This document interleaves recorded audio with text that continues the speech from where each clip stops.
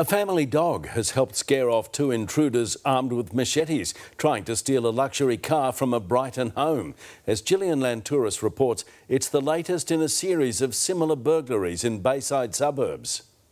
The Thompson family don't have a security alarm, but they do have six year old Austin.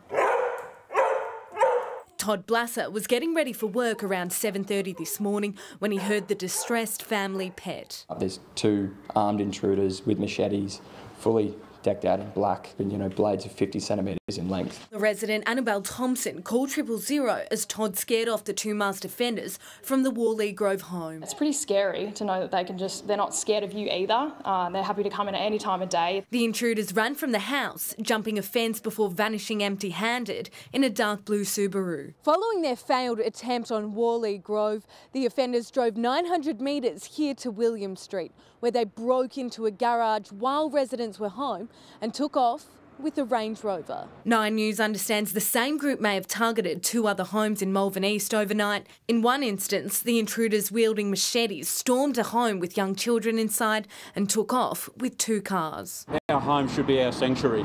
So the idea that while we're asleep at night that someone could be uh, gain entry to our house searching through our belongings would be extremely distressing. Police say they're actively patrolling the area after a series of similar burglaries. They warn these offenders target unlocked homes. The message is simple and that is secure your home at night. Gillian Lantouris, 9 News.